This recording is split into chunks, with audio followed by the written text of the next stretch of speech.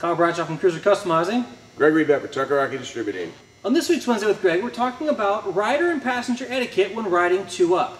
What does the rider need to do in preparation for riding a passenger, and what does the passenger need to do while sitting behind the rider to ensure a safe and pleasurable trip? Yeah, because if you do it right, you'll probably do it more than once. If you do it wrong, you might not do it again. So before riding two up, there's really two main things you need to consider. Preparing your motorcycle and preparing the passenger. When it comes to preparing the motorcycle, there's two things I would really recommend you take a look at. One is your shock preload. If it's normally used to riding one up, you're usually got a pretty soft setting. So you want to make sure you crank that up using your spring tool, or if you've got a progressive 440, you can hand twist that. What that's going to do is it's going to allow your motorcycle to handle better with the extra load. The second thing, speaking of load, would be tire pressure. Make sure that your tires are filled to the maximum capacity to handle the weight of both the rider and the passenger. Also, you need to have a conversation with your passenger about etiquette. Um, for example, I always tell my passenger, you'll get on when I tell you to get on, no surprises, and the same with getting off. Mm -hmm. Ride close to me, hold on, and no quick movements. Uh, my granddaughter rides with me frequently, and she knows the etiquette, and we have a really nice, safe ride that way. That's right. Communication between you and your passenger is the key to a safe and happy ride. Yeah, there's a there's a lot of things you should talk about with your passenger before you even get them on the bike. What to uh, what to wear.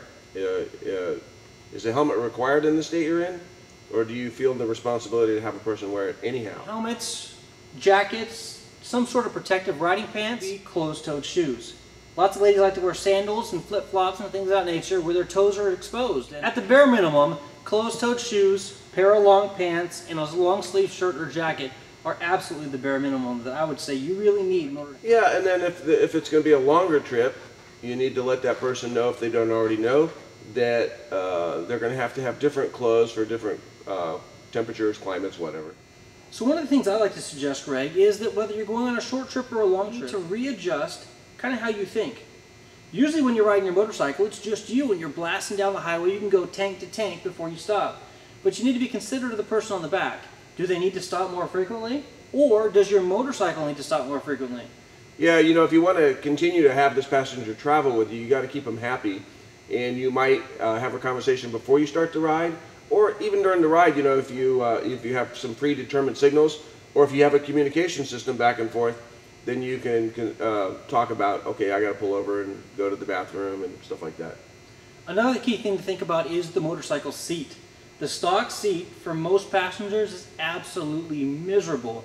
So if you plan on riding often, maybe think about upgrading that rear seat. Yeah, or adding a Airhawk seat cushion to the back, something that's easy to throw on and your your passenger is really going to say thank you. In addition to the seat, a couple other items we plan on doing two-up riding often would be a passenger backrest and passenger floorboards, especially adjustable ones. That way they can choose exactly where they want their legs to be.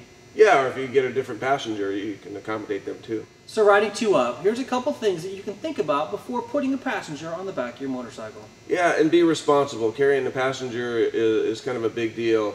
Uh, your, their safety and welfare is your responsibility, both legally and morally.